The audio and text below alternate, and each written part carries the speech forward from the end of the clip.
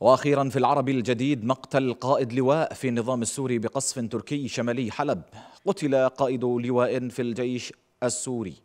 وجرح عناصر آخرون كانوا برفقته إثر استهداف الجيش التركي بسلاح المدفعية موقعا عسكريا على خطوط التماس بالقرب من منطقة عفرين شمالي محافظة حلب شمالي سوريا. وقالت مصادر عاملة في وحدات الرصد والمتابعة التابعة للمعارضة السورية.